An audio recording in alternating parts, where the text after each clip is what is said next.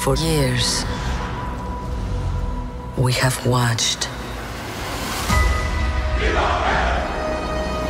and seen them accomplish wonders. But we have never interfered until now.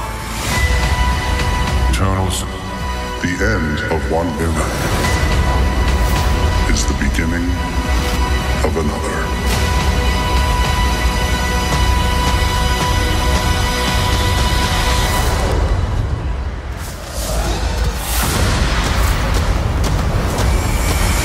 Marvel Studios Eternals. Thor used to follow me around when he was a little kid. Now he's a famous Avenger and won't return my calls. Rated PG 13. Be the first to experience it tomorrow night. Friday, the Marvel Cinematic Event arrives.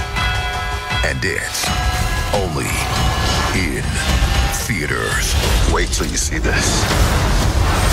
Eternals, rated PG 13, Friday. You can't protect any of them.